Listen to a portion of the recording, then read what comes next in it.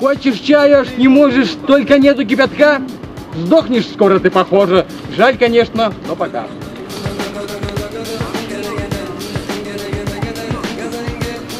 Ладно, ладно, я вернулся. Сейчас покажу тебе лайфхак.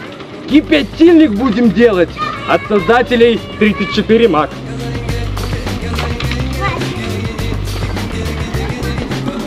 На этом мои поэтические способности все иссякли. Что же, сейчас будем делать простой кипятильник.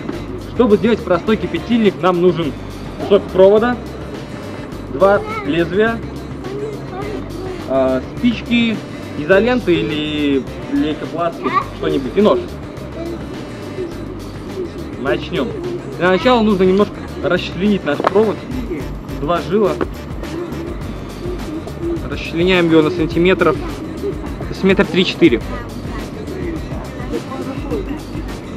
Дальше каждый из проводочков тоже режем пополам. Главное не порезать руки, а то кипятильник будет с кровью.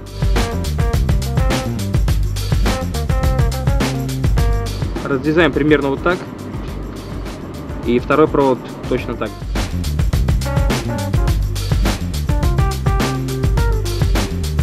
у нас два провода разрезаны примерно одинаковым образом. Теперь эти провода нужно закрепить. На эти провода нужно закрепить лезвие.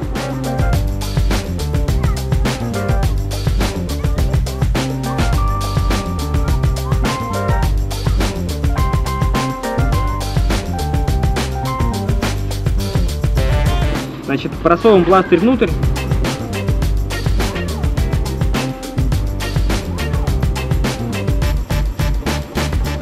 И изолируем это место.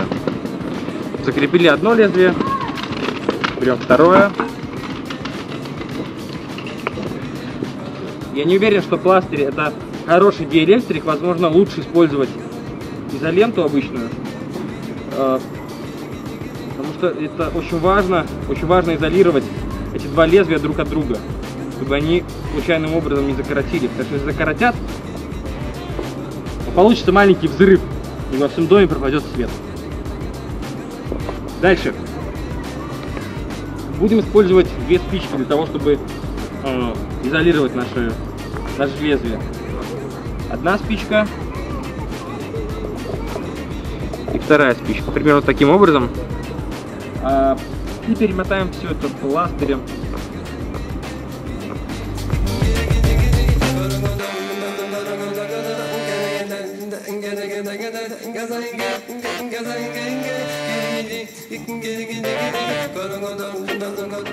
Проверяем, чтобы наши лезвия не касались друг друга.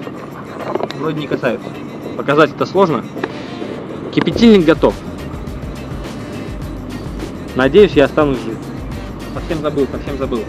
А, с другой стороны, нам нужно сделать нашу вилку для розетки.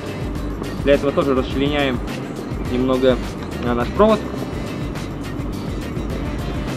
Мой папа монтажник. Вряд ли гордится мной. Я не умею нормально оголять провода. Вечно какая-то херня. О, оголил. Папа может быть доволен сыном. Так, нужно сделать примерно вот такую штуку. Это наша вилка для розетки. Это наш кипятильник. Let's try. Да, еще одно важное замечание. Это очень специфический кипятильник.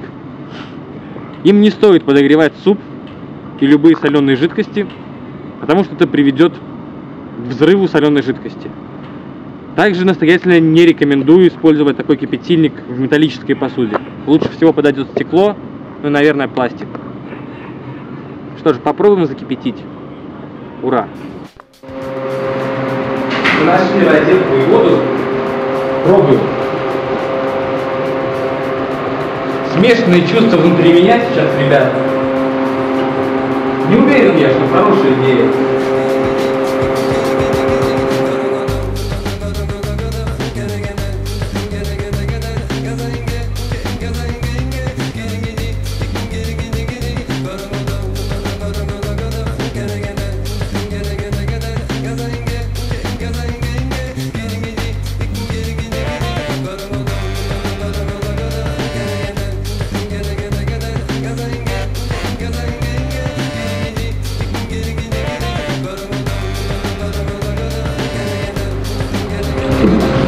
Очень безопасный кипятильник, не советую его использовать, но в крайнем случае можно. Конструкция предельно проста. Что ж, ждите новых серий, до встречи, друзья. Я пошел с этого вонючего места.